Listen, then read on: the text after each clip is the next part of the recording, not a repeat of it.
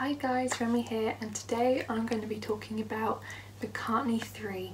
So today, which is the 21st of October 2020, Paul McCartney finally announced that McCartney 3 is happening and it is happening on December 11th.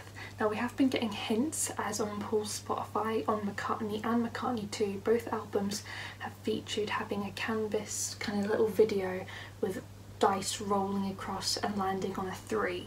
Plus there were articles saying that Paul had been recording during lockdown, so yeah, pretty much we all kind of knew that we were getting a new McCartney album. However, it's so exciting that it's a McCartney self-titled album because the last one was in 1980 and I'm especially excited because this is the first McCartney album that's being released whilst I've been a fan and also it's it's a McCartney album so I'm just I'm just very excited.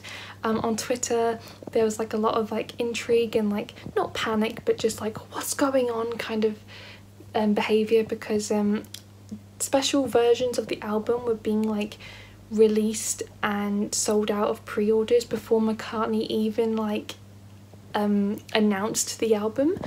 And so that was pretty funny just pe seeing people being like is this real? What's happening? Oh my god. Um, but speaking of the album there is so many vinyl versions of this album already just because of all the exclusives that are coming out and it's so interesting. I've never seen an album be released with so many different versions. It's, it's mad.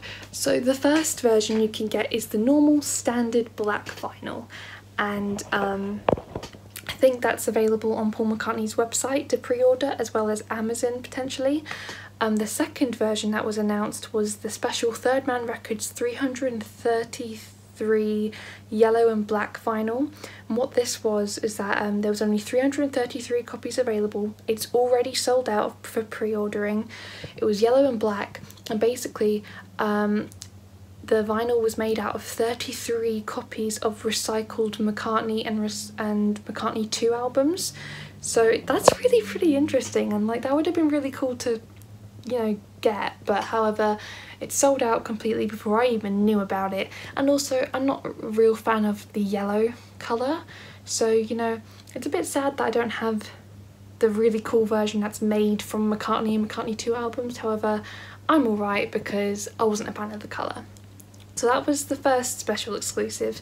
Then the next special exclusive is the Third Man Records and also Paul McCartney website uh, red exclusive that has 3,000 copies available. It comes with a poster, it's numbered, so is the yellow one. The yellow one also comes with a poster and is numbered. Um, but it's red and um, yeah that one's really really cool. It's like a red dice and red vinyl. Um, so basically when I mentioned before that there is a red version of the album, turns out there's two different red versions um, there's one that was pressed by Third Man Records, and there's one that is, I think, I'm guessing, is pressed by Capitol Records. Um, and the differences being is that the Paul McCartney UK website is showing the um, Capitol Records version, and the US Paul McCartney website is showing the Third Man Records version. And I think the other differences being obviously that except for the fact that two different pressings, um, the Third Man version is hand numbered and has a Third Man Records logo on the album cover, whereas the um, other red version does not have the Third Man Records logo, obviously, and is unfortunately not hand numbered. But yeah, I hope I make sense because I'm just still trying to get wrap my head around it. But yeah, there's two red versions one was made by Third Man Records, who also made the yellow vinyl, and one was made by Paul McCartney. And then the next one that I saw was the HMV exclusive, which has the normal front cover, however has a blue disc. Um, the next one I saw was a Bull Moose indie exclusive one, which had a normal front cover but had a white disc. The next one I saw was a Target one, which was green.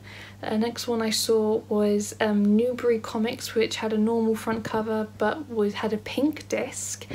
And then another one I saw was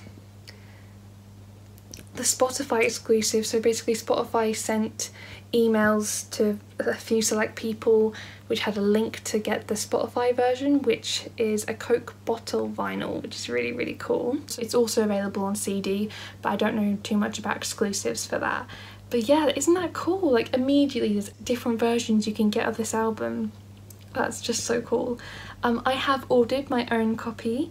I've pre-ordered it and I can't wait for that to arrive when it does. And if you're wondering, I ordered the red one.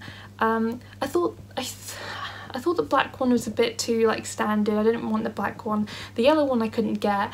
Um, the white one looked really really cool and I was seriously considering the white one. However, I thought the red one's a bit more special. Plus, it has its own special front cover with the dice being red.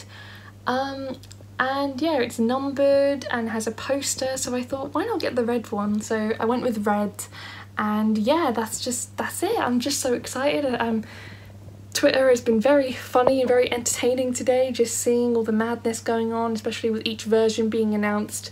Um, I saw Paul's little teaser trailer made me tear up because I'm just so excited.